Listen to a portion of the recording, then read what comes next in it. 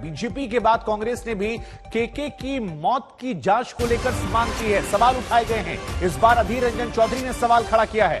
केके की मौत पर अधीर रंजन चौधरी ने सवाल उठाए हैं और मौत की वजहों की जाँच की मांग जो है वो की जाए, ऐसा अधीर रंजन चौधरी ने कहा है।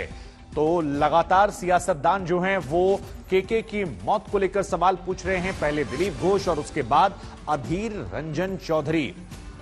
कि मौत की वजह क्या है, क्योंकि केके हर दिल अज़ीज़ थे परफॉर्म कर रहे थे, खूबसूरत गाने गा रहे थे, छाए हुए थे, उसके वीडियो सामने आ रहे हैं, लेकिन एक के बाद एक चीज़ें जो असहज होती चली गई, उसकी वजह क्या है, उसकी स्पष्टता के लिए जाँच की मांग बीजेपी और कांग्रेस दोनों तरफ़ से।